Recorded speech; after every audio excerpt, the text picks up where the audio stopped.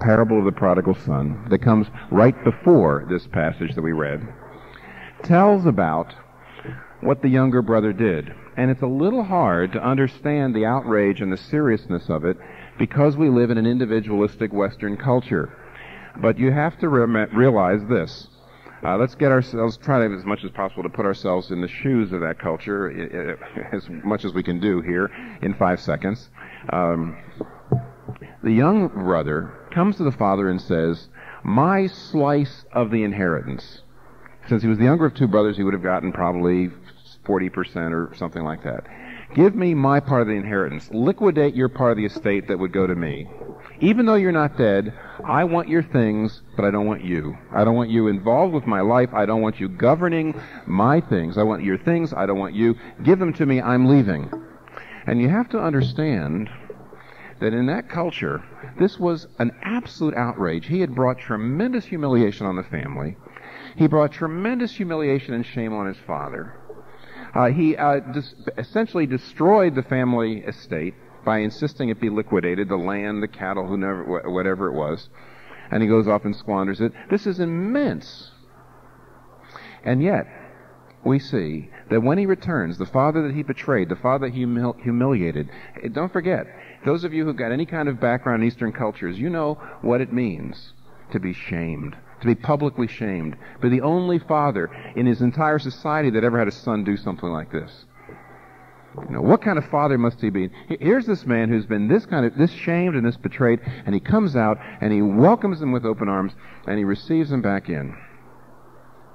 And when you see that, and you see him kiss his son, not wait, he won't even wait till he repents.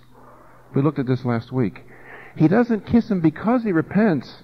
His son is able to repent because he's kissed. He goes and he and he grabs him and he lifts him up and he kisses him and he hugs him.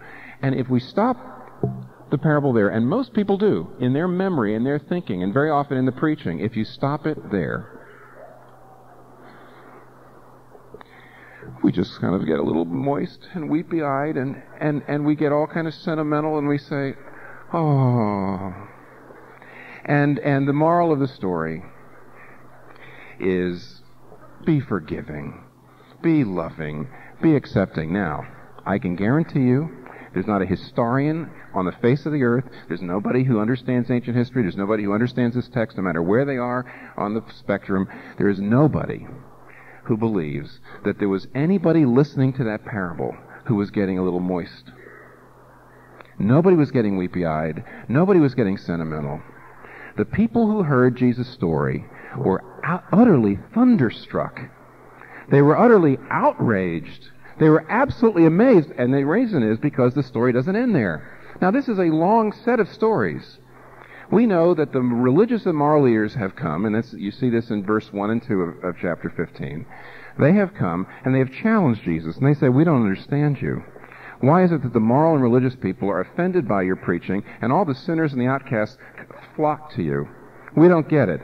And Jesus tells three stories the shepherd going after the lost sheep, the woman going after the lost coin, and then the story about these two brothers. And the climax is not the prodigal son returning, but the dialogue, the debate between the father and the elder brother if you actually see the whole chapter, if you see the whole story, if you realize this is not the parable of one son, but the parable of two sons, you will come to see this. What Jesus is saying and what outraged the people, Jesus was saying that this whole chapter is not so much about prodigals, it's about Pharisees. And it is not so much a, wonderful assurance that if you had a broken, messed up life, he would receive you, even though, of course, it is. It is that. It is that wonderful assurance. It is a great assurance. But it's not the main point. This is not an assurance to prodigals. This is not an assurance to bad and immoral and messed up people. This is an absolute in your teeth warning to good people. The whole chapter. In this entire chapter, Jesus Christ is saying, nothing comes between you and God like morality and goodness and decency and respectability. And the people who are listening are thunderstruck. You know why? Because the purpose of this of this parable, or this whole chapter, I mean, the purpose of this chapter and this parable is not to get us a little bit weepy. It is to blow out all human categories that we already have of who God is and who we are and how we relate to Him in morality and religion.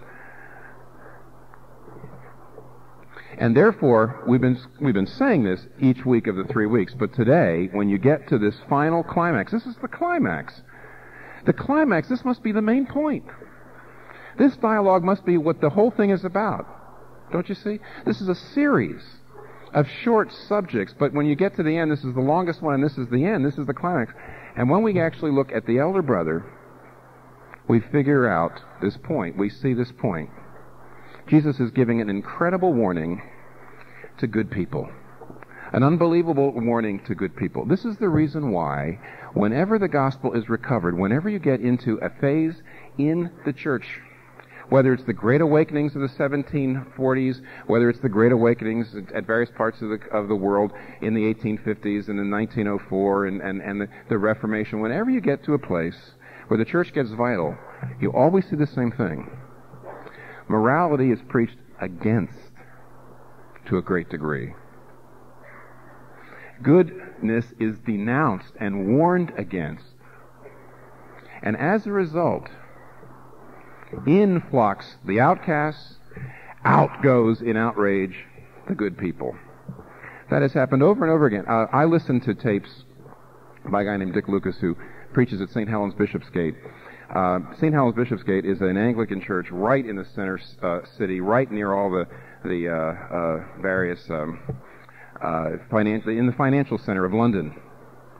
But years ago, in the 1740s, when there was a tremendous awakening tremendous awakening, and the gospel was being preached in the streets and being preached in the churches, and, and all sorts of people were becoming converted, coming into the churches. John Wesley preached in the pulpit of St. Helens Bishopsgate. And on his way down, you know, the steps, came down the steps. Wish I had steps to come down from. But, uh, well, I have steps. I have steps. Don't do this to me. On his way down, the warden of the vestry, which is like the secretary of the board, all right? The warden of the vestry came running up and met him at the bottom and said, Sir, you must preach here no more. That's in the Wesley's journals. What was, what, what, why were so, people so offended? The established people, the middle class people, the moral people are always offended by the real message of Jesus.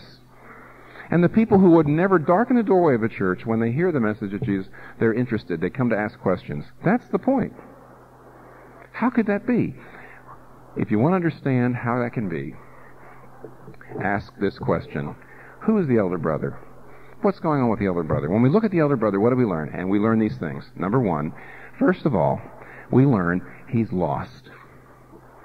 The, the thing that's just, just astounding, when all the Pharisees and all the religious leaders and all the moral people know doggone well, and every commentator says this, that in the elder brother, Jesus Christ is showing moral people their picture. He's holding a mirror up. He's saying, look at this.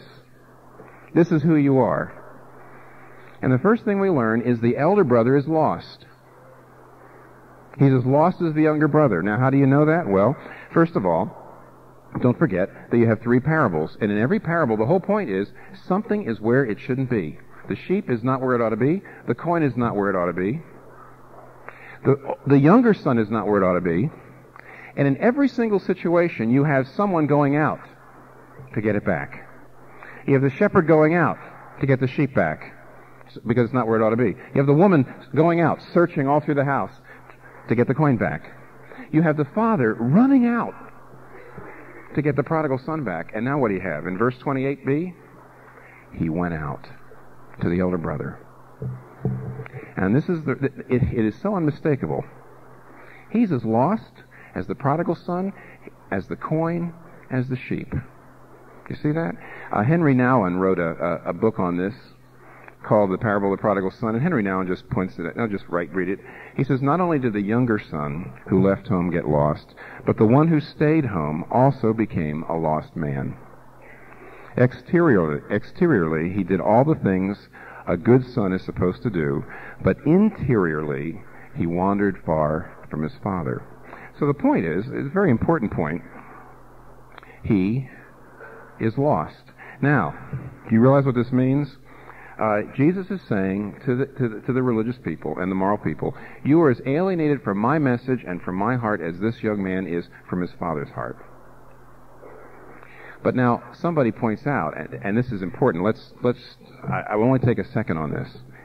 Let, we have to realize that what Jesus is saying here is it's not the only place he says this. He says it continually. But what is being said here is you can be with God and be far from God. Because you see in verse 31, he comes out, and what does he say to the elder brother? When he begins his speech, his pleading, and by the way, the word pleading does mean tenderly.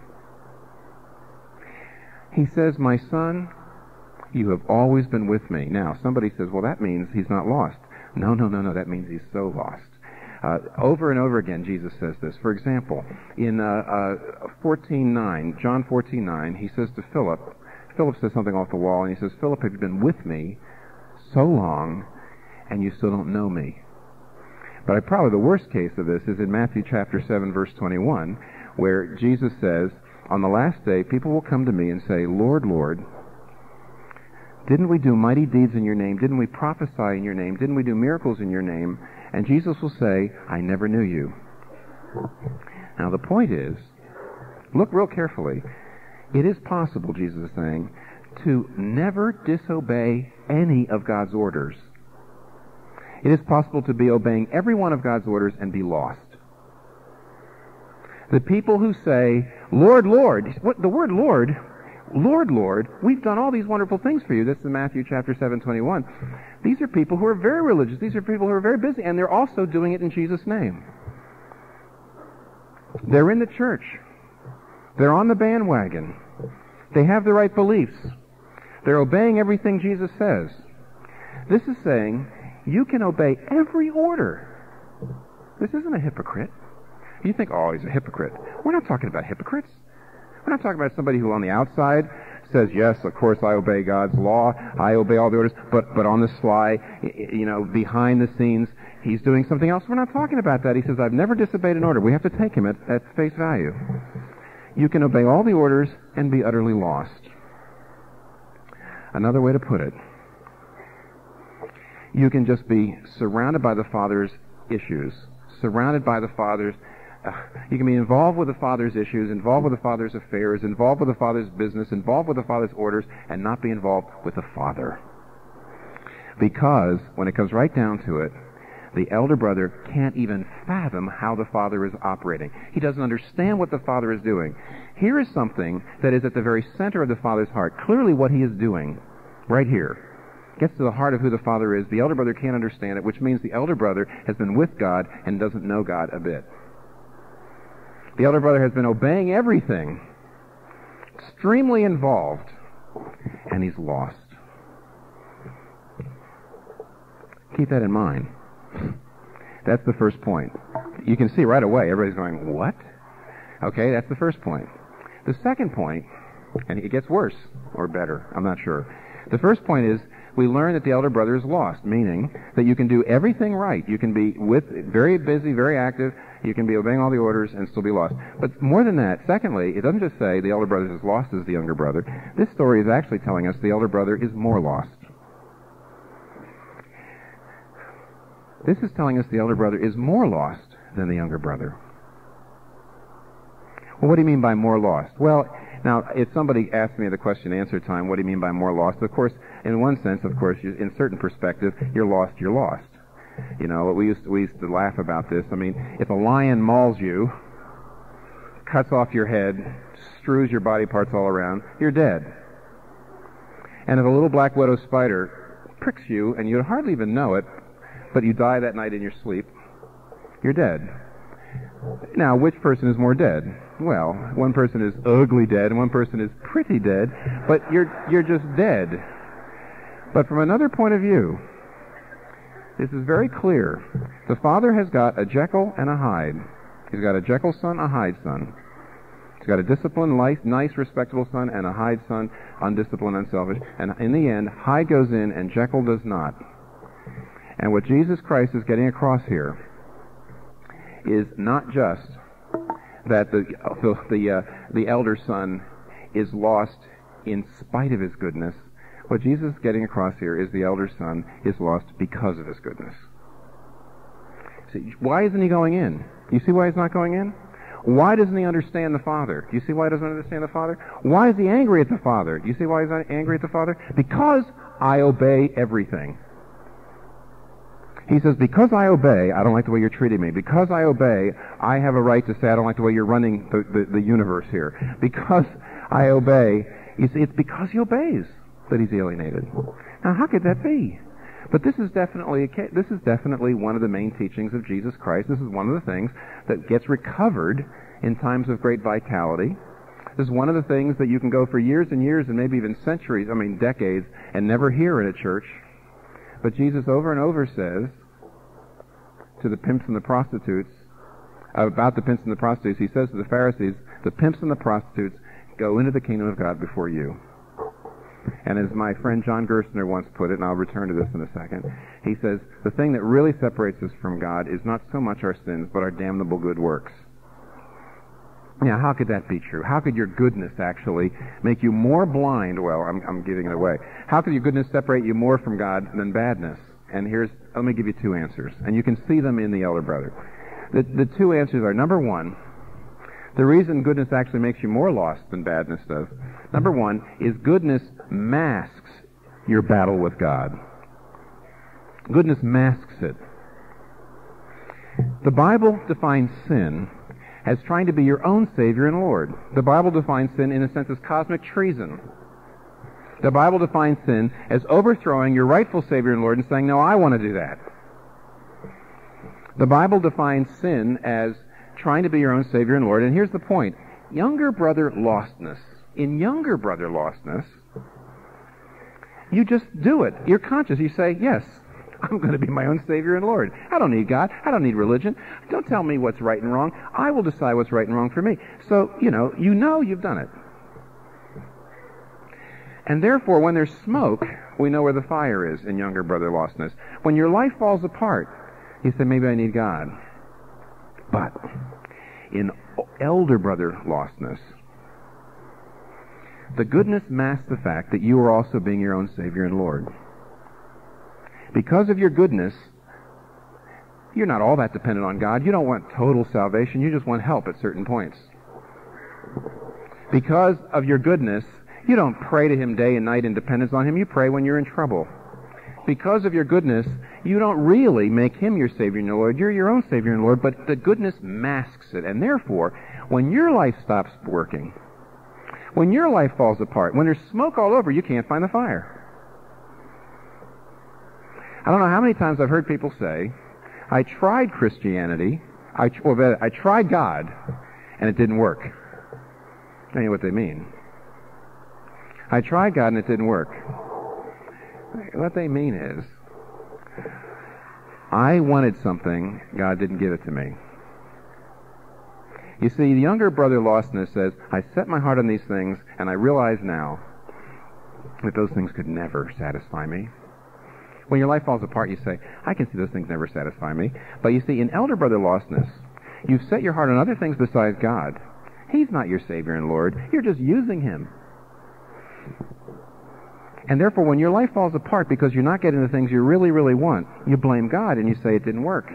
That's the pro- in younger brother lostness, when there's smoke, you know where the fire is. In elder brother lostness, when your life is falling apart, you have no idea where it's coming from. And it's because goodness masks the fact that you're being your own Savior and Lord. But then secondly, the second reason why goodness makes us more lost than badness is goodness doesn't just mask your battle with God. Okay, get this. Goodness is your main weapon. In elder brother lostness, goodness is your main weapon in your battle against God. You use your goodness against Him. Can you see the elder brother doing that? See, if the elder brother had felt he hadn't been a good son, he would have come up and say, "Well, Father, I don't, this doesn't make sense, but you know, well, okay, let me let me hear your side of it." Oh no! But what he does is he comes up and says, "I have obeyed. I have been good. I have done everything just right, and therefore I demand that you stop treating my inheritance the way you are." The natural human heart, until the Holy Spirit comes in and shows us, until it, the Holy Spirit comes in and He intervenes, the natural human heart will take goodness and always use it like this. Good deeds moral up rectitude, caring for the needy, helping your family. You see, however you define it, what your heart will do with that goodness is you will use it to take control of God and the people around you. You will use your goodness to feel superior to other people and to say, you owe me. But most of all, you will use your goodness to try to get control of God and to say, you owe me. That's what he's saying here. He says, Father, you can't just treat me any old way. You can't just do anything. I am good, therefore I have rights. Now, if you want to understand the difference between an elder brother and a Christian, there's practically no better place than that fascinating spot in The Great Divorce. The Great Divorce is a fictional account by, by C.S. Lewis of a busload of people, this is fictional by the way, a busload of people from hell who go to the outskirts of heaven. And people who are in hell are met generally by people who they knew from earth who are in heaven. And the people from heaven come on down and they try to urge the people from hell to come to heaven. And here's an interesting example. What you're going to find is uh, the ghost is a person from hell. The bright man is a person from heaven. Look at me now, said the ghost. This is one of these encounters. Slapping his chest, but the slap made no noise. I've gone straight all my life. I don't say I had no faults, far from it. But I'd done my best all my life, see? I'd done my best by everybody. That's the sort of chap I was. I never asked for anything that wasn't mine by rights. If I wanted a drink, I paid for it. And if I took my wages, I'd done my job. See, that's the sort I was. The bright man said, It would be much better not to go on about that now. You'll never do it like that. Your feet will never grow hard enough to walk on the grass that, that way. You'd never get to the mountains. Ghost. Who's going on? I'm not arguing. I'm asking for nothing but my rights. I gotta have my rights. Same as you, see? Oh no, it's not as bad as that. I haven't got my rights, or I wouldn't be here. You will not get yours either. You'll get something far better. That's just what I say. I haven't got my rights. I always done my best. I've never done anything wrong. And what I don't see is why I should be down there and a bloody murderer like you, which he was, should be up here. Well, who knows whether you will stay down there. Maybe you will be put above me up there. Just be happy and come. What do you keep arguing for? said the ghost. I only want my rights. I'm not asking for anybody's bleeding charity. Oh, then do. At once. Ask for the bleeding charity. Everything is here for the asking, and nothing can be bought. That may be all right for you if they choose to let a bloody murderer in, all because he makes a poor mouth at the last minute. That's their lookout. But I don't want charity. I'm a decent man, and if I had my rights, I'd have been here long ago, and you can tell him I said so. It was almost, the ghost was almost happy now that it could, in a sense, threaten. Yes, that's what I'll do. I'll go home. I didn't come here to be treated like a dog. I'll go home. Damn and blast the whole pack of you, and still grumbling, but whimpering a little as it picked its way over the sharp grasses, the ghost made off.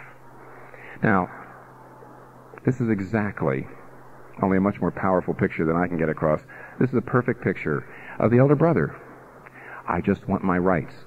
When your goodness becomes a way for you to get leverage over everybody else, so instead of looking at what comes to you from other people and what comes to you from God as a gift, when you use your goodness to demand your rights everywhere, all over the place, you're as miserable as this young man is, this older, this older brother is, and you are utterly alienated from the Father's heart.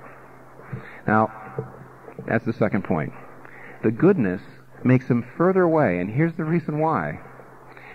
When you become a Christian, the first thing you know a little bit about is you have to repent of your badness, the things you've done wrong. But many, many, many people think they've become Christians only because they repented of their badness, and they haven't repented of their goodness. Well, you say, how in the world can I repent of my goodness? If you only repent of your badness, here's what will happen. You'll be, you think you become a Christian, but what you've actually done is you're continuing to say, if I'm really good, if I try really hard, if I work really well, uh, if, I, if I'm a good husband or good wife or good child or good son or good daughter or good father or good, if I do all these things well, what, what's happened? You're still an elder brother. You still are. And you will have these same marks in your life that he's got that are signs of elder brother lostness. What are those signs? Okay, let me just give you a quick rundown. It's frightening to see them, but take a look at the signs of elder brother lostness. He's not in a pigsty. You can't find it that way. He's not cursing God. You can't find it that way. He's not doing things wrong. He's not breaking all the laws of God. He, you can't find him that way. He's not outside of church. You can't find it. You can't, you can't just, you, you know, you, you say, oh, I know how to find non-Christians. 11 o'clock Sunday morning, I'll just see who's walking out there on the street. Then I know who a non-Christian is. Well, see, the problem is you can't find him that way. He's not out there on the street 11 o'clock on Sunday morning. Well, how do we know? If you have elder brother lostness in your life, well, here it is. Number one, let's take a look real quick. First of all, he is very, very angry about how his life goes, and he compares himself to others. He says, I never got a goat, and he gets a calf. What's a murderer like him up here and me down there? I am a better person. I deserve this. Now, you, listen, this is a sign of elder brother lostness. You're always looking around and saying, other people are having a better life than me who don't deserve it as much as I do. And you're, why? Because you feel like God owes me. That's self-righteousness. That's elder brother lostness. And your misery, your deep misery, comes from the fact, not, not because your life isn't going the way you want. That's not it. It's how you're interpreting it. The reason you're so miserable is not because of the circumstances. Stop telling yourself, ah, the reason I'm so cynical and so angry and so bitter and so cold inside is because my life hasn't gone very well. That's not it. It's how you're looking at your life. Nobody's life goes that well. You know, from the outside, you think their life goes better. You don't know. See, that's the self-righteousness that says, I know better, and God owes me. And that's the first sign. Anger. Tremendous anger at the way everything, you know, has to happen. You see, the problem is, elder, oh, by the way, there's actually two kinds of anger when things go wrong. See, elder brothers have two kinds of anger, because elder brothers believe that either I'm good and I'm valuable, or I'm sinful and I'm worthless. But the gospel says you're sinful and incredibly valuable. See, elder brothers say, if I'm living up and I'm obeying all the rules and I'm doing it right, then I'm good and I'm valuable. And then when things go wrong, the anger is toward God. I hate you. How can you do this to me? But if you're not living up, if you aren't living up to your standards, if you're not making it the way you want to, then you feel sinful and worthless. And then when things go wrong, you get angry, but you don't get angry at God, you get angry at you. You say, what an idiot, how did I do this? Why is my life's going wrong? It's all my fault. You're going to be filled with anger. But the gospel, which is a completely different grid, it takes you completely out of the elder brother religion. It takes you completely out of this. The gospel doesn't say you're either good and valuable or sinful and worthless, but you are very sinful and absolutely valuable in Christ. And because you know you're sinful when bad things happen, you don't complain. But because you know you're valuable when bad things happen, you know it's not a punishment. Did you hear that? You see, if you're a Christian and you understand the gospel, because you know you're sinful, you don't complain when bad things happen.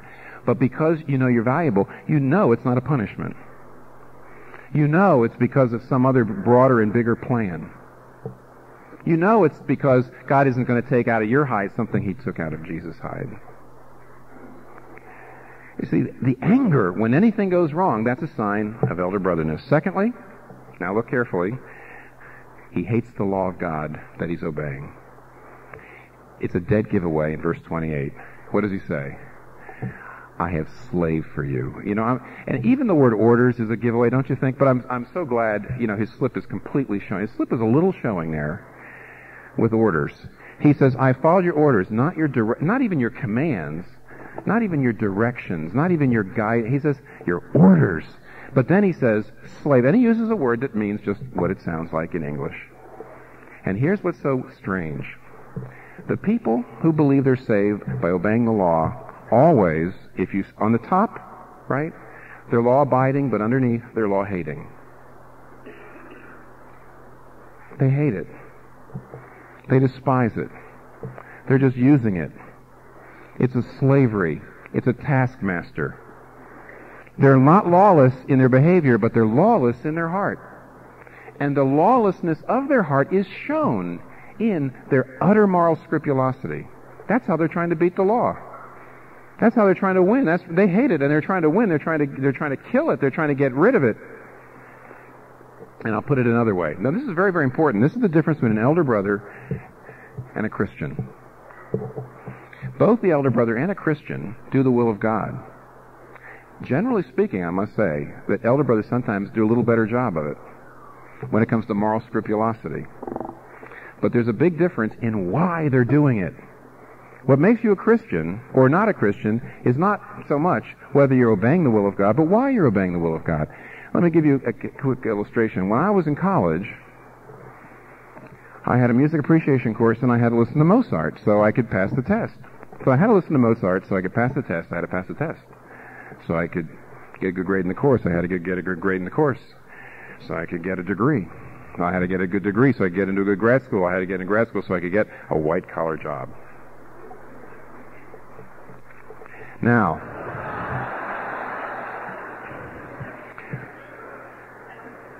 I used Mozart to get money, basically. But something's happened to me in Mozart over the years. Now I use money to get Mozart. Now I spend the money that I make with my something kind of collar job. And why do I do it? Now what does Mozart give me? Mozart just gives me Mozart. Now here's the difference. When you, when you find something beautiful, it is its own reward. When you find something beautiful, it's just itself. When you find something beautiful, you look at it or you have it or you listen to it or you're, you're with it just for what it is. And if, if, on the other hand, you listen to it or you look at it or you have it in order to get something else, you see, then you're, then you're not doing it out of aesthetic joy. You're not doing it out of, out of just a sense of beauty. You're not doing it for itself. A Christian can speak like the psalmist in Psalm 1, Psalm 1. What does it say is the mark of a godly man? It doesn't say a godly man is someone who preaches day and night, someone who reads the Bible day and night. Doesn't even say that.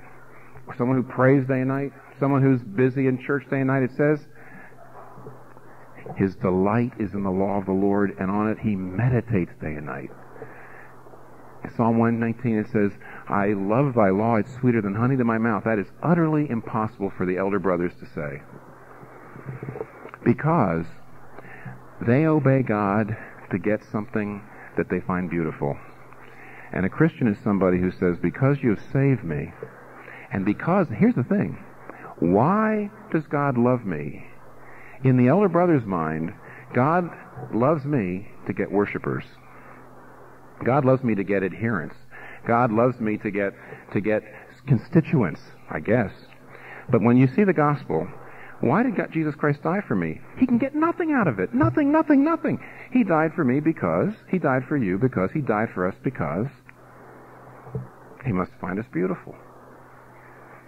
He must actually love us for who we are. And when you recognize that, that you're a sinner saved by grace, what ends up happening is you begin for the first time to treat God aesthetically. For the first time, you find that you love Him for who He is, you obey Him not for what He's giving you, and as a result, your obedience becomes personal, aesthetic, and absolutely unconditional. See, elder brothers say, I've just about had it. I've obeyed you and I've obeyed you and I've obeyed you, and I haven't gotten what? Well, I haven't gotten what? I haven't gotten the real things that I love, the real things that I think would give me meaning. The real, if you have a condition on your obedience, if you say, if God doesn't answer that prayer, if, if God lets that happen, then what good is being a Christian? And see, that is the elder brother, because the elder brother has not examined your, his premise, and you haven't examined yours either. And the premise is, God is not the, God is not the thing I need. God is not the ultimate beauty. God is not the thing that my heart's really after. You see, your obedience is unconditional because now you obey God for who He is. You obey Him out of love. You're not a slave anymore. Quick, let's go on. First of all, we see elder brother lostness, always angry at what's going on in your life, either at yourself or God, back and forth, one or the other, or both sometimes. Secondly, you don't really love the law of God at all. You don't meditate on it. You don't find it beautiful. You know, you're not after the character of Christ. That's not what, you don't meditate on the law of God. You, you, you knuckle onto it. You hate it. You, you're using it, but you don't love it. You're lawless in your heart, even though you're very lawful in your life. Thirdly, there's a combination here of a lack of joyful assurance and a tremendously judgmental spirit toward others. On the one hand, a lack of assurance. There's a very funny thing that the commentators say. He says, you never even gave me a goat. Now, goats are very cheap compared to fatted calves. So what he's saying is, you never gave me a goat to have a party with. And in verse 31, what does, he, what does the father say? All I have is yours. You've always been with me. And commentators say, the father's actually saying, but hot son, you never asked me. Now the point is this. There is no dance in the heart of this elder brother about his relationship with the father. He's never had a party. He's never asked for a party because underneath it, he not only doesn't love the father, he's not really sure where he stands with him. He's got to know his hostility. He's got to know how much he, just as much as the younger brother. The younger brother tried to get control of the father's things without the father by going away. And the uh, older brother tried to get control of the father's things without the father by staying. He knows that deep in his heart. And as a result, there is no joyful assurance. There's no sense of joy. See, when you ask a Christian, are you a Christian? It doesn't take long. The reflection happens and immediately there's a dance. You say, this is incredible. I'm a Christian and it's astounding. It's amazing. How could it be? But elder brothers, if you ask them if they're, they're Christians, they say, of course I'm a Christian. Why are you asking? What, what are you up to? What are you, what are you thinking about? How dare you ask a question like that? There's never a party in the elder brother's relationship with the father. There's never a party. But with Christians, it doesn't. Th- we, we lose it, but it doesn't take long. If you do a little reflection, your eyes start to dance, your heart starts to dance. He's got no assurance. He's got no. He's not. Got he's not. He has no wellspring of joyful assurance, and yet he is very quick to refuse to admit that this young man is really back in the family. He doesn't call him my brother. What does he call him? This son of yours. He doesn't even say your son. See, your son would be away. This son of yours. Now, this is very, very typical. Here's a sign of being an elder brother as opposed to being a Christian. When you're an elder brother, you're never sure where you stand with God. You're always nervous. You're always insecure. There's never a joy. There's never a dance. However, you are very sure about other people where they stand. Because since you believe you're saved by being good, if you see somebody doing something wrong, you say, that person can't be a Christian. Look at her do that. Christians don't do that. Well, that's true. But that doesn't mean she's not a Christian because she, maybe she's saved by grace. No, well, I don't think like that. You see, the point is, if you are an elder brother, you're very unsure of yourself and you're very sure of everybody else. You've got them all pegged. But if you're a sinner saved by grace, if you understand the gospel, first of all, you become incredibly sure about yourself. Because see, now when you look in your own heart, sure you see things that are bad and wrong, but you know what Jesus has done for you. You are able to relax about yourself, but when you look at other people, you're very, very charitable. You start to say, well, you know, that person's not living right, but after all, you're not saved by living right. You see, suddenly what happens is you become the most unjudgmental people in the world. There's an exclusivity about the elder brother, always. The elder brother says, I, if I was going to have a party, I'd only invite my friends. But the commentators will tell you a fatted calf was way, way, way too much for a family to eat. Even if you can invite all the servants. The one commentator I read said, "There's no way you you kill a fatted calf unless you want everybody in town to come, no matter who they are." You don't think all those people out there in town thought that father was a terrible father? And don't you think there's an awful lot of people out there that probably think the father's an idiot for ask, for letting this guy back in? But you see, the difference between a Christian and an elder brother is elder brothers are always, always judging and looking down. And they're saying, oh boy, is the elder brothers are always judging people. Christians are the least judgmental people in the world. Christians are even saying to people who don't believe what they believe, I would like you as much as you're willing to feast with me. Maybe I can't convert you. Maybe I can't get you to see what I see. That doesn't mean I don't want to eat with you. See, that was the whole point. Jesus was eating with sinners. Eating with sinners. And so Jesus put, puts himself here as the father, killing the fatted calf, saying, even the people who I'm sure not only thought that I must be a terrible father to have lost my younger bro- my, my younger son, but even the ones who probably think it's incredible. I mean, in Eastern, in Oriental societies, what he did is probably, would, many people would be offended by it. They think it's ridiculous. The whole town's invited. There's an exclusivity about the elder brother. There's an incredible inclusivity about grace. Well, there's a lot of other things we could say. For example, the elder brother can't forgive. Why not? If you uh, think you're saved by your works, you always feel superior. You say, I would never do that. If you can't forgive a sin against you, you know what you're thinking in your heart of hearts? If today you're having trouble forgiving somebody, you know what you're saying in your heart of hearts? You're saying, you have to be saying, I would never do that. I would never do something like that. Well, that's elder brotherness. I'm not saying you're an elder brother through and through, but you've got a little elder brother in there, or you wouldn't be in that. See, don't you see? It's the self-righteousness that's really screwing up your life. It's not your badness. It's your goodness that makes you angry. It's your goodness that keeps it makes you bitter. It's your goodness that makes you worried. It's your goodness that makes you hate obedience. It's your goodness that, that makes you look and say these rules and say, oh gosh, I guess I have to do it, but boy, it's better than going to hell. It's, it's your goodness that makes you miserable. It's your goodness which is at the heart of all the problems. It's your self-righteousness. Self-righteousness is the cause of racism. It's the cause of classism. It's the cause of, of so much of the family breakdown. It's the goodness. And here's how you know it. Now, one last thing. Somebody's saying, gee, all you're doing is bashing conservative people. All you're doing is bashing conservative people. You're bashing people who feel like morals are important and doing the right thing's important.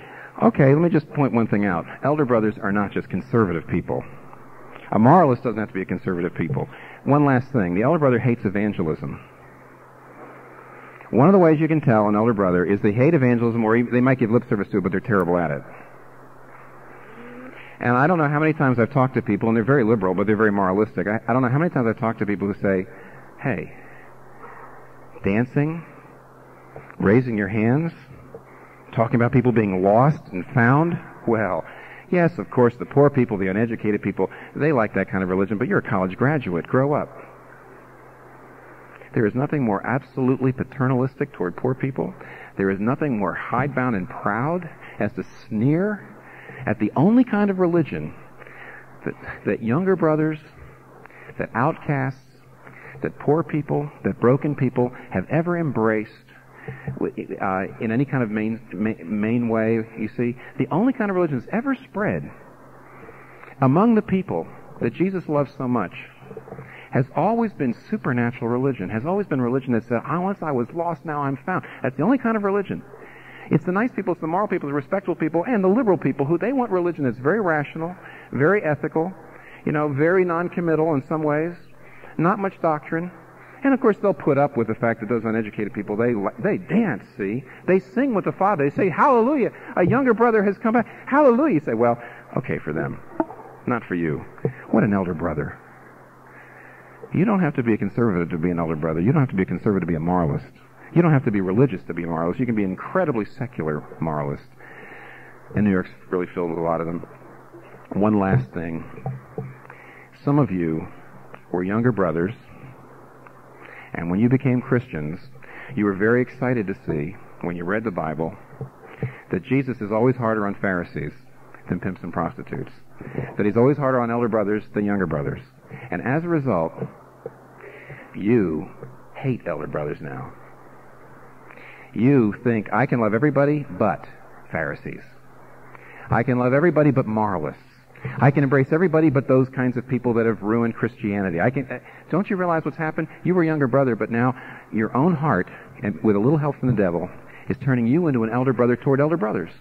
And the one way that you will be able to really see that your Christianity is not just one more flip-flop through your life, is that your judgmentalism is even destroyed against judgmental people, and therefore, take a look. Jesus comes out in the Father and basically pleads with them. He says, Come home. Come in. My son. He doesn't say, You fool. You rebellious. You prig. You Pharisee. My son. Okay? How can the elder brother be recovered? Well, we talked about it last week. I'll just say it this way. It's fascinating that the, the end of this sermon, in every other parable, you've got a shepherd going out to get the sheep.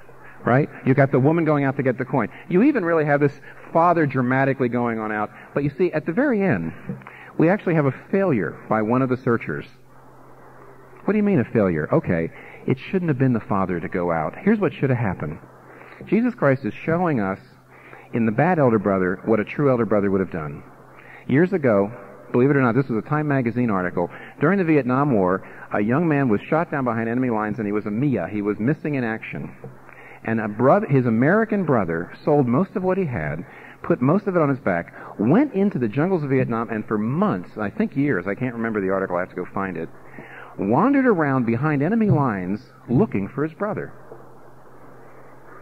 And what's so fascinating is the villagers and, and even the enemy soldiers, they so respected that. You know, Eastern people, Oriental people very often are much bigger on family than us.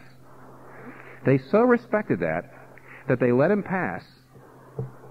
And the word spread in the jungle, and they just called him the brother. Now there's a real brother.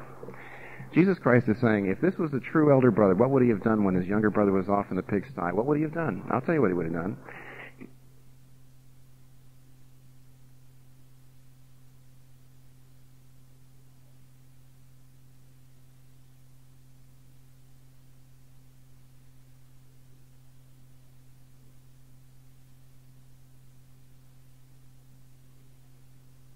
To the passage on which our teaching space this morning.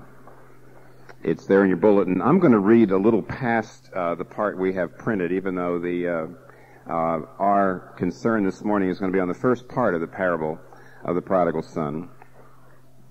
So it's Luke chapter 15, and we'll start with verse 11, and I'll read through. Actually, I'll read through the end of the chapter. And Jesus continued. There was a man who had two sons. The younger one said to his father, Father, give me my share of the estate. So he divided his property between them. Not long after that, the younger son got together all he had, set off for a distant country, and there squandered his wealth in wild living.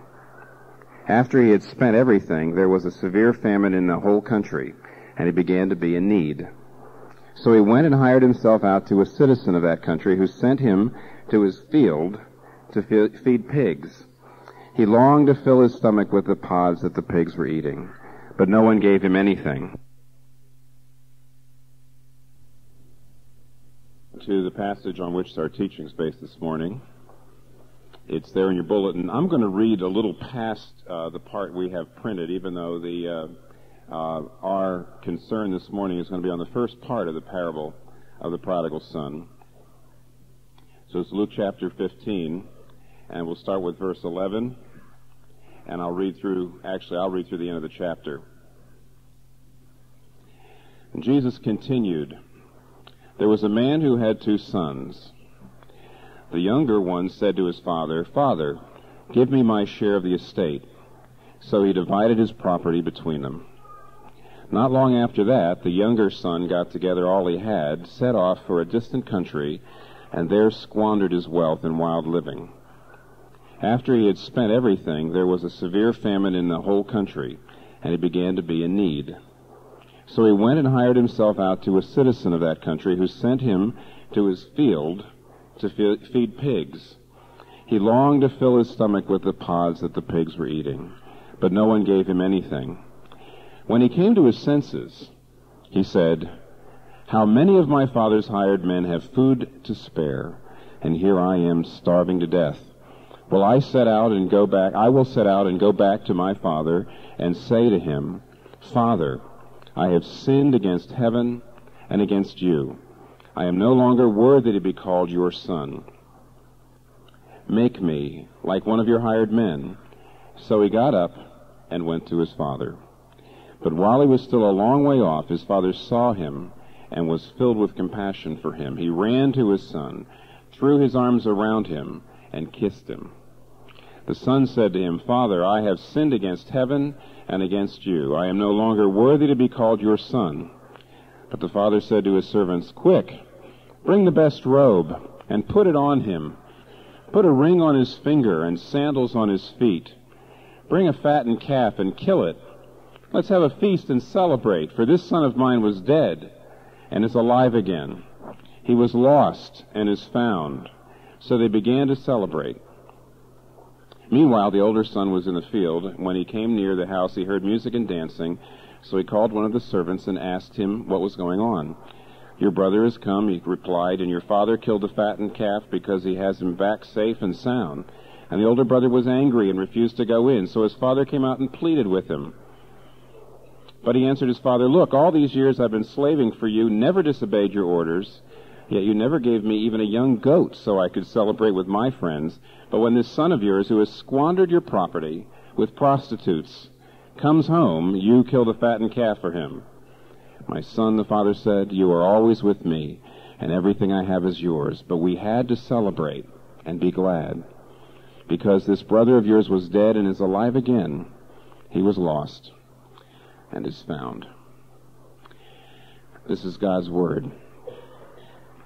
We're spending three weeks on this tremendous chapter, Luke 15. And uh, today and next week, we look at the parable that's been called the parable of the prodigal son. Uh, this this is very very famous. However, the story is so sentimentalized usually, and uh, what we're trying to do is get a t- get a, a, a a sense of how amazed the hearers would have been. This would have been an absolutely astonishing and an amazing thing to hear. The purpose of this parable, in particular, the parable of the prodigal son, was to blow out the existing paradigms, the existing categories that human beings had for uh, their understanding of their relationship with God.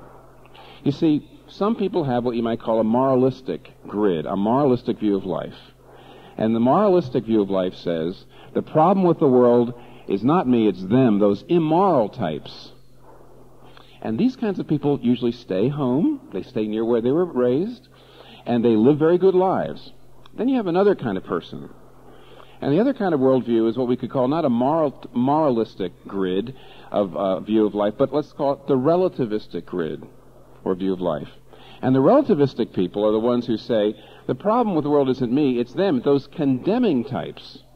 You see, the moralistic said the problem is those immoral types, and the relativistic types is those condemning types. I need to uh, get away from them. I need to go out and find myself. Now, generally, the relativistic types, not the elder brother types, the moralistic, but the relativistic, the younger brother types, they tend to move. They tend to go away. They tend to go to New York City. And when, when we see what Jesus Christ tells us about these two brothers, we see that he is coming at us and he's saying, neither, neither of these paradigms, neither of these grids. Now, these are the only grids anybody ever knows about. Whenever you read an article about the religious scene today, these two are always pitted against each other. And everybody always says, who's going to win? What's going to happen? But instead, Jesus says, and, and this is what is so astounding, and this is where it blows out the paradigms. Jesus Christ says, look at these two brothers. Look carefully. They are both lost. They are both alienated from the Father's heart. Do you see? In both cases, they will not come in, and the Father has to come out to bring them in. Jesus Christ lays bare the flaws of both of these paradigms. Now, uh, and the most, the most startling way I can put it is this. The father has two sons, a Jekyll and a Hyde. And in the end, the Hyde, the Edward Hyde comes in and the Dr. Jekyll stays out. And what this is telling us is that both a moralistic and a relativistic, both, both a moral person and an immoral person are equally alienated from the Father. And if anything, and this is something we will not get to until next week, I'm just warning you try to get you back. If anything, this story is telling us, if anything, it's the moralistic, it's the good person who's more alienated, less more impervious, less able to understand Jesus' new gospel paradigm than the immoral. Now, what's so absolutely complete about this incredible story is it not only blows out and says there's another way, the gospel is a whole different way. It's not something any human being ever came up with. You're not going to read about it. You have to get it from Jesus. You're not going to make it up yourself. You're going to have to get it from Jesus. Not only that, but it's so wonderful because basically everybody is either a Pharisee or a prodigal. Except those of us who are kind of both. So there's a there's a Pharisee kind of person who's alienated from God, and there's a there's a there's a prodigal kind of person who's alienated from God. But then in almost every person, when we look in our own hearts, we see both a Pharisee and a prodigal. Now, this week, what we want to do is we want to see Jesus' paradigm as, in particular, it's applied to prodigals. And I think when we do that, and next week we'll get to the Pharisee, next week we'll get to the elder brother, but this week to the prodigal, and when we do that, I think here's what we see. Jesus is telling us here something that, boy, everybody wants to know nowadays. He's talking to us about experience of God. The kiss of the Father. How do you get that? See, it's one thing to know your Father loves you. It's another thing to have Him kiss you. What is a kiss? What's the difference? Well, when you're kissed, you're experiencing the love. How do you experience God? How do you have an experience of the Father? How do you, how do you get the Father's kiss? Verse 20. And the, this text tells us there's three things. Three things that absolutely have to happen if you're going to have not just a general religion, but an experience of God. These three things. I'm not going to, you know, I usually tell you the headings ahead of time. I'm not. I'm going to keep you guessing. First of all, first thing you've got to do, what, first thing you have to have is you have to come to your senses. You have to come to your senses. That's what it says here in verse 17. When he came to his senses, he said, Now, first of all, something general. What is that? That is repentance. Um, in uh, 2 Timothy, I'm not sure, but I suppose when Paul wrote this, he could have easily had this story in mind. 2 Timothy, Paul writes, Those who oppose you gently instruct, in the hope that God will grant them repentance, and that they will come to their senses and escape the trap. See, repentance, coming to your senses, that's what we're talking about. And right away we learn something. Before I try to break it down, right away we learn something very important. If you want experience with God, at the very heart of it is repentance. In the moralistic grid and in the relativistic grid, you don't see that. The mark of Jesus' grid is the centrality of repentance. See, in the moralistic grid, repentance is abnormal. In the relativistic grid, repentance is unnecessary. In the moralistic grid, repentance is abnormal. It only happens when you screw up. But you see, the moralistic grid has no kiss. They have good feelings. There are good feelings in the moralistic grid. But the moralistic grid are the Pharisees. These are the people who come and say, I'm okay, you're not okay, you're immoral, I'm moral, and the reason I know God likes me and loves me and will answer my prayers is because I'm a good person. Now there's a certain good feeling about that. It's a feeling of superiority. But it's not the kiss. In a sense, the love of God in the moralistic paradigm, you talk about the love of God to a person in that paradigm, and what do they say? Of course he loves me. I'm very good.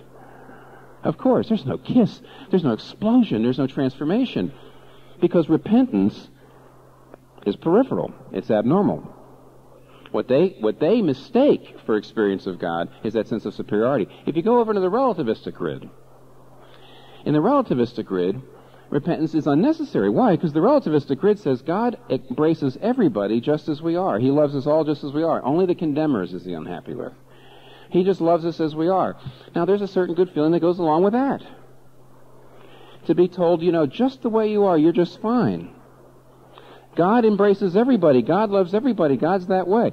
But when you talk to a person in the relativistic grid about the love of God, it's just a sentiment. It's just an idea. It's a kind of good feeling. But if, again, if you say God loves you, what a person in the relativistic grid says, of course. Of course. There's no kiss. There's no transformation. It's not galvanizing. It doesn't change you. The difference between Christ's paradigm and the other two is the centrality of repentance. And even the way he describes it, look at this, comes to your senses.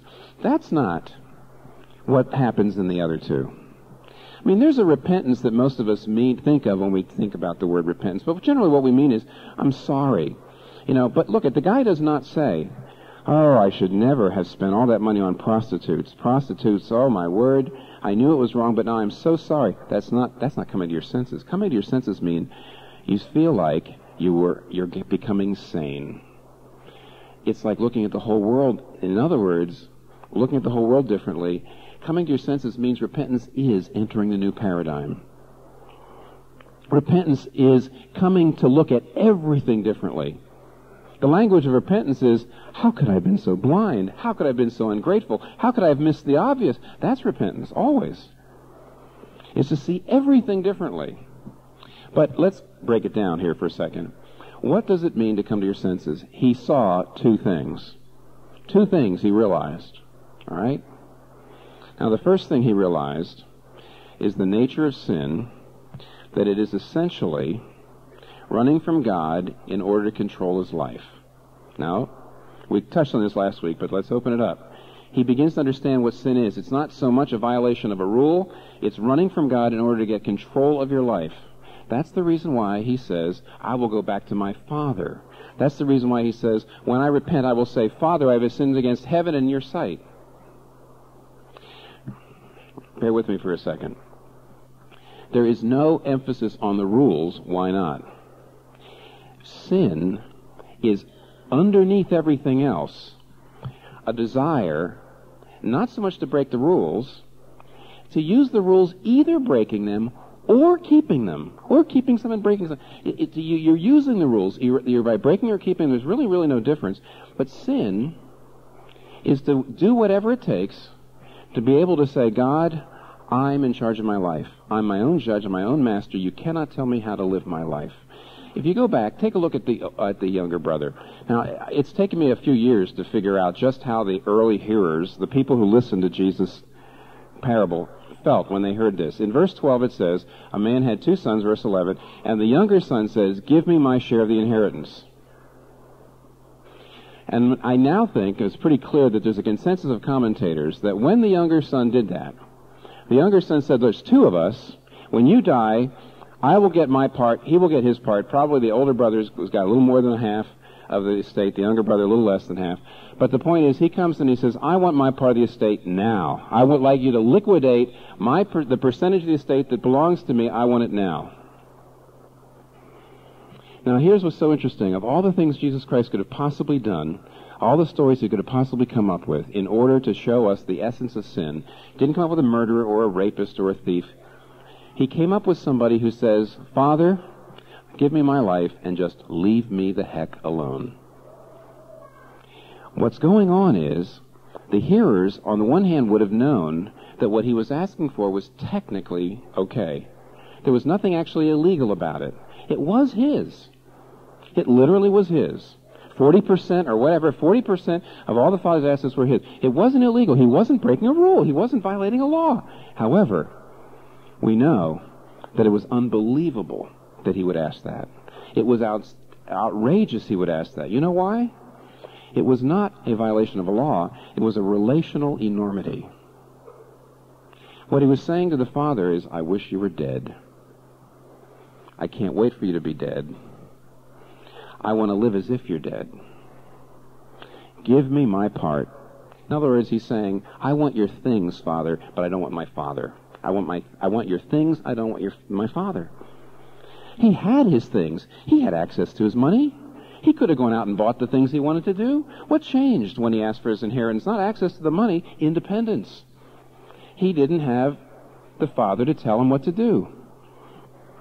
Now, the reason that this is so critical, unless you understand that the essence of sin is it's not breaking a law, it's breaking a law or keeping a law in order to say, I got control.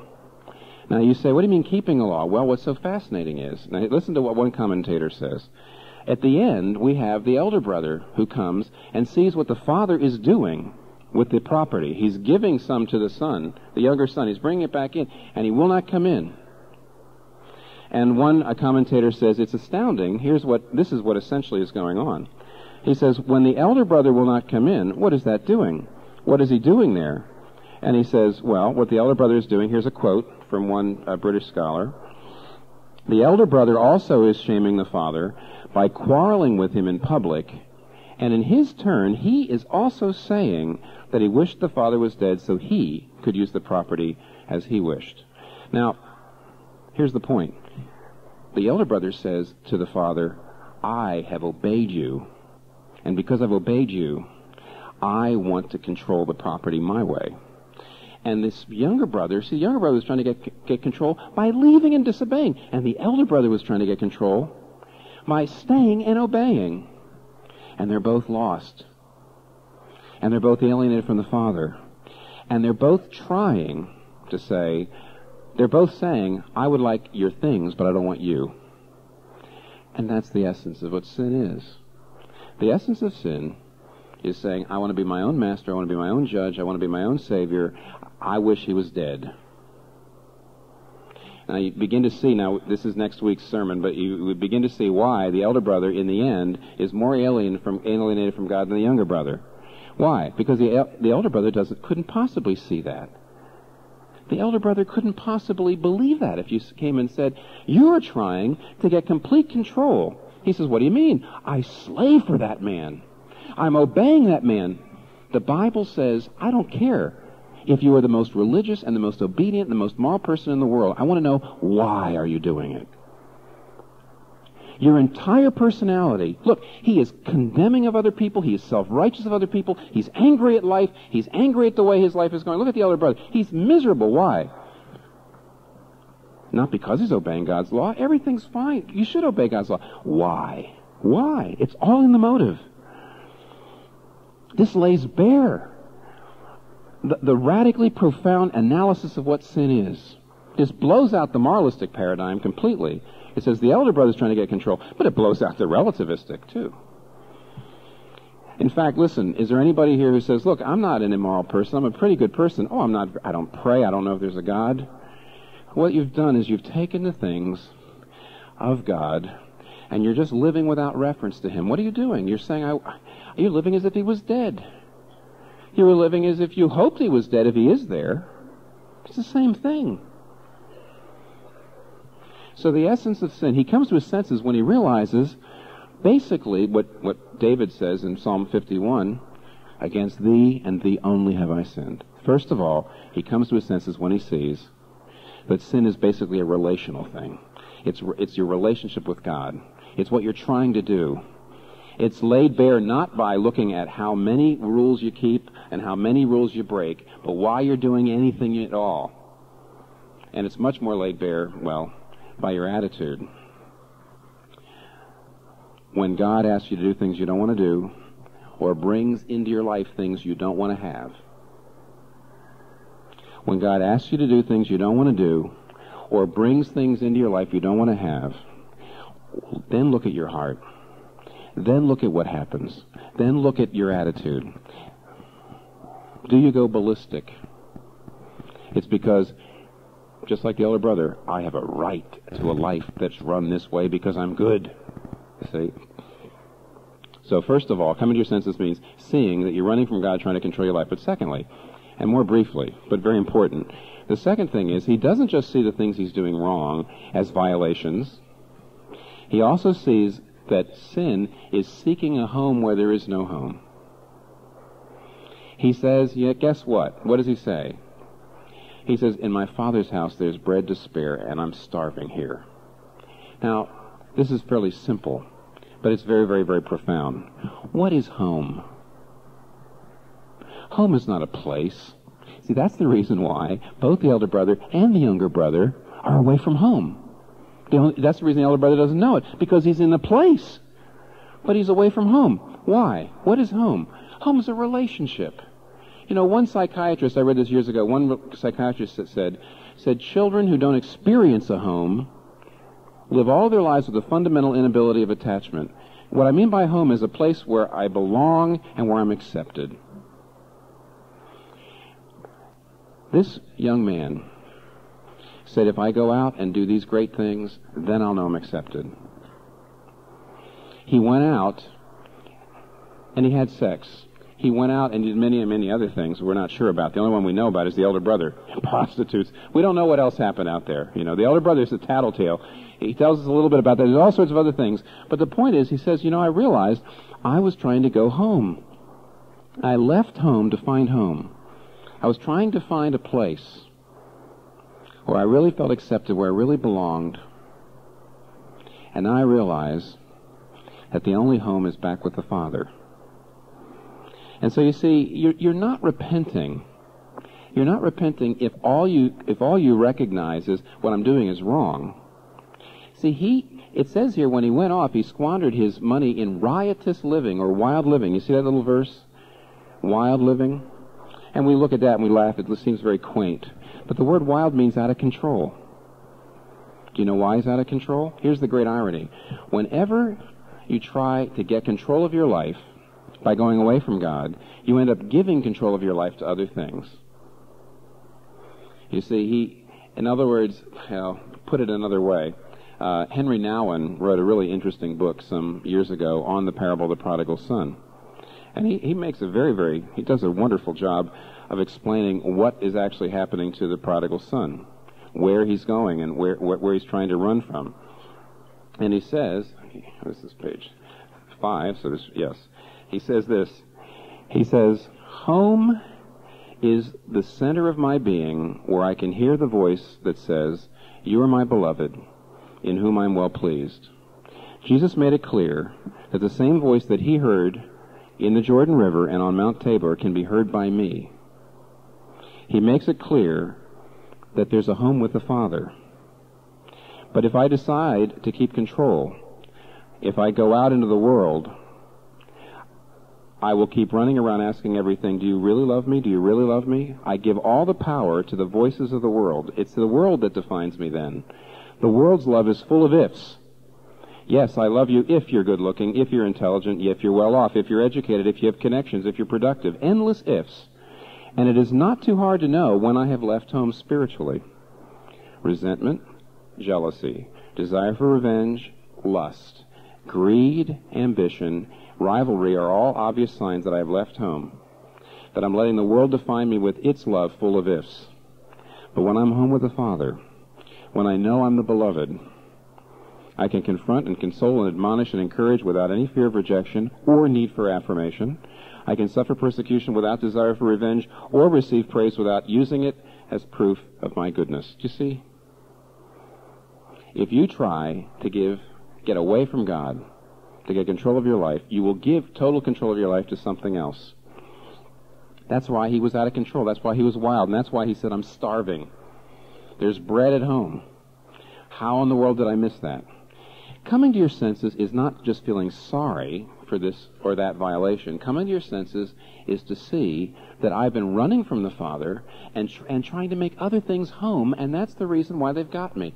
See, Henry Nouwen says anger, worry, resentment. Like worry. How could he say that? How could he say anxiety means you've left home spiritually? Anxiety means you're a prodigal. Anxiety means you tried to find bread somewhere else. How can he say that? Well, it's very simple. Why are you just eaten up with anxiety? Because there's something out there you say, if I have that, see, if I'm intelligent, but I may get bad grades.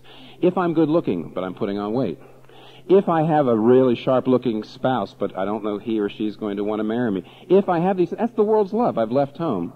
And as a result, those things that you have gone to instead of God because you want to have control of your life, you've, you've ceded control to them, and worry is the way it controls you or bitterness is the way these things control you. Repentance is not just to look at the violations, but to look underneath, to see why I'm doing what I'm doing. And it's not till he comes to his senses that he's on his way back to his father. That's the first thing you need. The second thing you need, the first thing you need to experience the father's kiss is you have to have, you have to come to your senses. The second thing you need to experience God is you need what? You need a love that's prior to repentance. Now, if you look carefully, you'll see what happens. As the young man's coming home, we see verse 20. And in verse 20, we read these absolutely remarkable words. Uh, it says, But while he was still a long way off, his father saw him, and he was filled with compassion for him. He ran to his son, threw his arms around him, and kissed him. And the son said, Father, I have sinned against heaven and against you. I am no longer worthy to be called your son. But the father said to his servants, Quick, bring the best robe and put it on him. Now, what do we see here? Here's what we see. Look carefully. Look very carefully. Many people say this is a very different um, picture than the sheep and the coin. Because you see, in the parable of the, of the lost sheep, the sheep is out there wandering away, and the shepherd takes the initiative and comes. And in lost coin, of course, the coin is down there somewhere, and the woman takes the initiative and comes. But it looks like in this parable, which go right come right after those other two parables, it looks like it's saying that no, no, no, uh, we don't. Uh, it, it, it's not God that comes after us. We have to seek Him. But that's not true. First of all, the commentators say that almost any other Middle Eastern father, and certainly the hearers of this parable, would have listened to this story about the younger son saying, Give me my inheritance, I wish you were dead. And any other, any other father they knew would have done this would have hit him, beaten him, and thrown him out without a cent. He probably would have died. He probably would have been absolutely penniless. He probably, or, or he would have said, if I got my money, if I got those things, if I could sleep with whoever I wanted to, there'd be no repentance in that man's life. But this father's different. This father, by not beating him, but by responding to him gently and by saying, okay, here it is, be- because of his mercy, because of his love, because of his gentleness, he bought this young man time. This young man would not be coming to his senses unless the father had already loved him. But now look carefully. When's the kiss? Before the speech or after the speech? It's before the speech. Here's a father. Now, this is totally undignified. You know, venerable people would stand there on the porch and wait to hear the speech, not this one. He rushes off the porch. He's not tapping his foot. He's not saying this better be good. An old man, he runs down the path, he cuts across the uh, the field, he sees a gap, let's say, in in the hedge, and he jumps on him. And what does he do? He's hugging him, he's kissing him, and he hasn't said a word. He hasn't said a word. As a matter of fact, surely you can imagine this young man just is just scared to death on the way back. What am I going to say? How am I going to say it? It's a little easier to say something to a person who's already jumped on you, already hugged you, already kissed you, already slobbered all over you, and stands back about six inches with the biggest smile you've ever seen, then you don't mind asking for something. Listen, the love of God was not caused by the repentance. The repentance was caused by the love of God.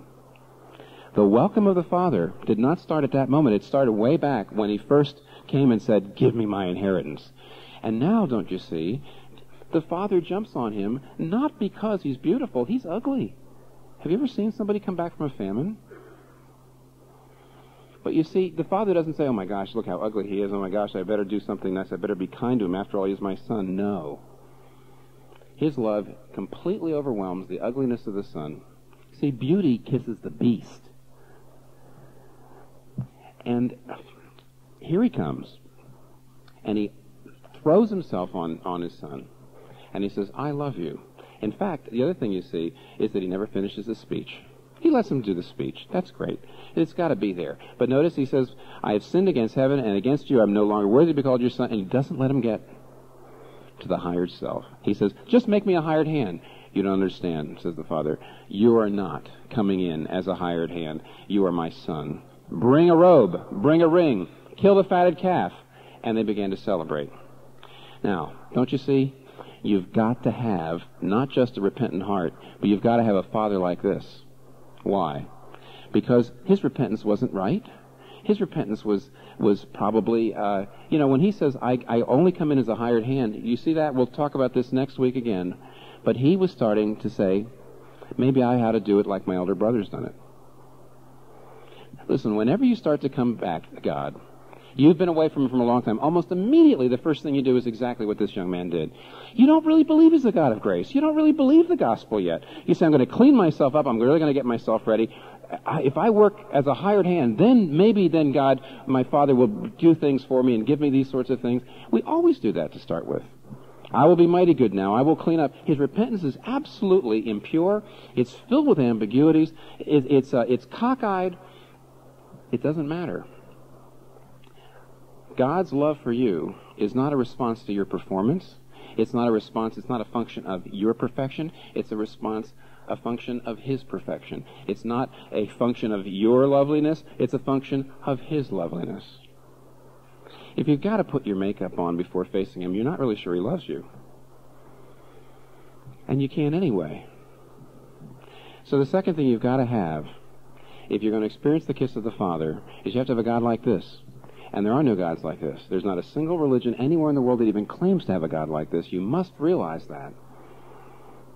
The moralistic grid doesn't have a God like this. The relativistic grid doesn't really have a God like this. Oh no. Because you see, the relativistic grid doesn't have a God whose love pounces.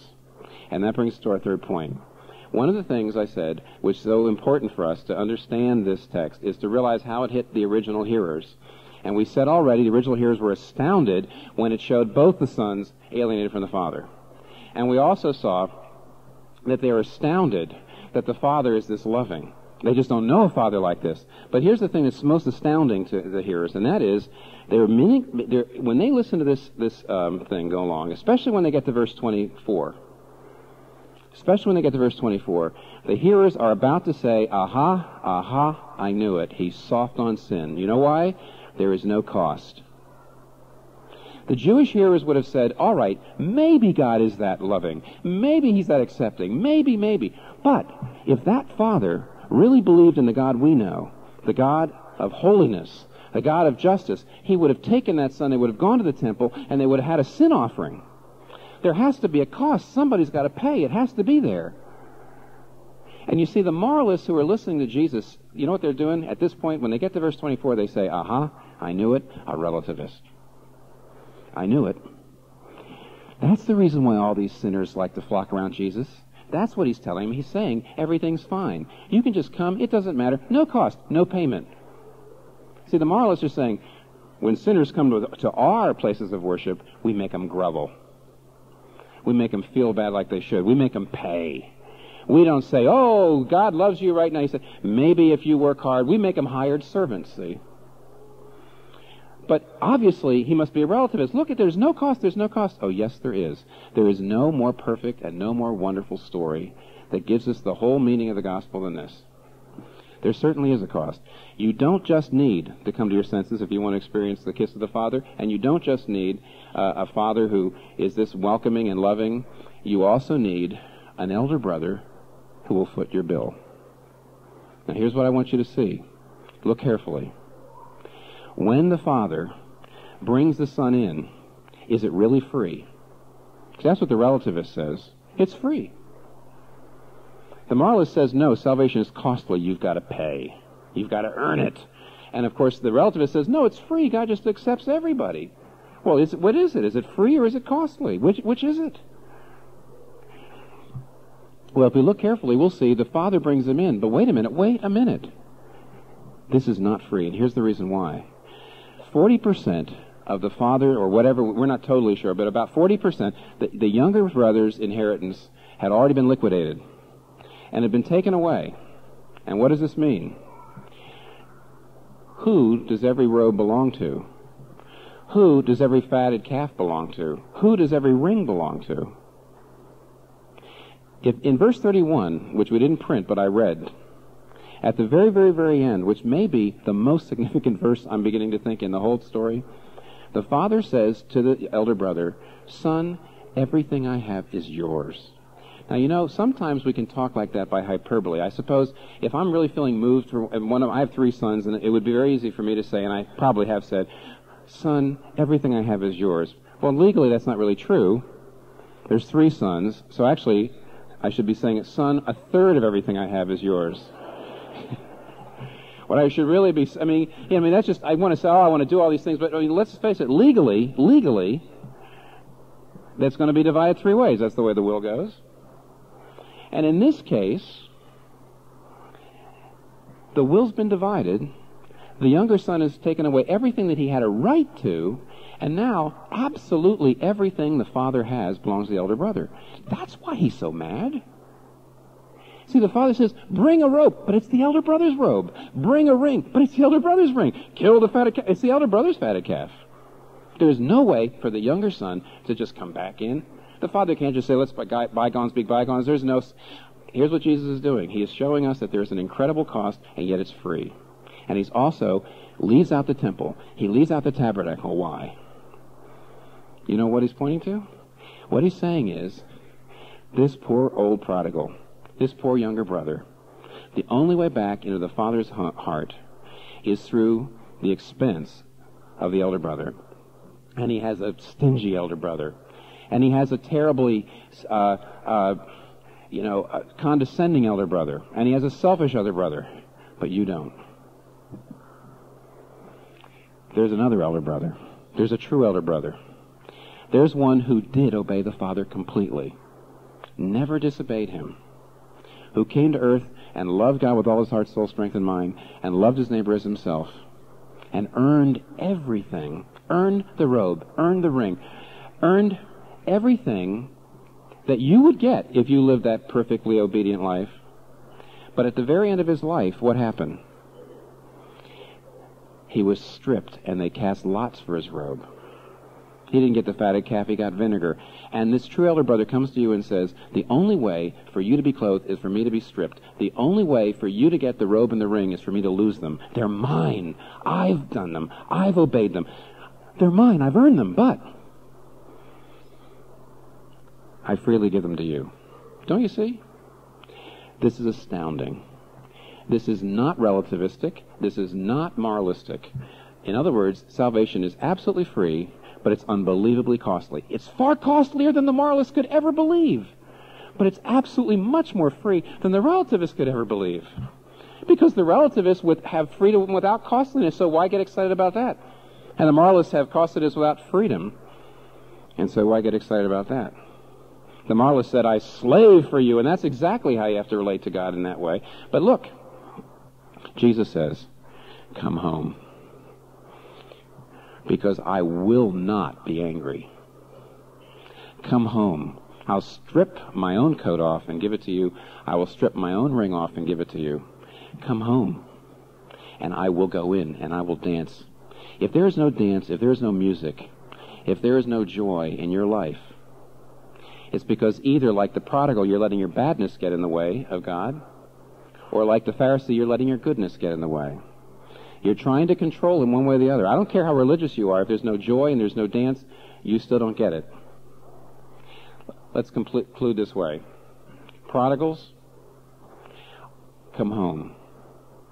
Are you a confident prodigal? You say, hey, I come to New York City and I've done all these things and I don't feel any need for God. There's a famine coming. I can guarantee you there's a famine coming. There's always a famine coming. And you will see that you will be in need. These things work romance, these things, they're not home. They are not home. They are voices that say, I love you if. And at some point, a famine will come along and you won't be able to fulfill the if. And you know what? You'll be dead in the water. Come home now. Don't wait. Some of you are in the middle of the famine. You're suffering. We talked about this last week. Remember that beautiful story of the of the uh, sheep and the and the uh, shepherd bringing the sheep home you know, over his over his uh, shoulders and rejoicing. But one thing you've got to always remember: this, he's rejoicing, but the sheep the sheep is not. Because the reason that a shepherd has to put a sheep over his shoulders to bring it home is the sheep is so freaked out when you find when the sheep is in danger, it's happy. When the sheep is being saved, it's terrified. You have to grab the sheep, you have to throw it down, you have to tie the front and the back and you have to stick it over and you have to bring it home and you're rejoicing because the sheep is saved and the sheep is going to be safe and the sheep is soon going to eat and the sheep is crying and screaming and all that.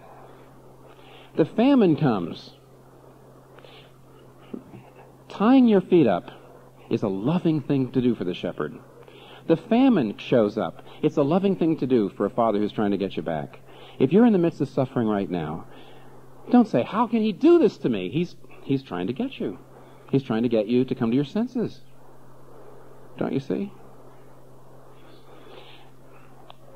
And if you're a Pharisee, if you are condescending to other people or mad at God for how He's running your life, are you like the Pharisee who says, I have tried to live a good life. I don't like the way in which you're running things. You still haven't gotten it either. Whether you're a prodigal, whether you're a Pharisee, come home. There's a true elder brother, and he won't be grumpy.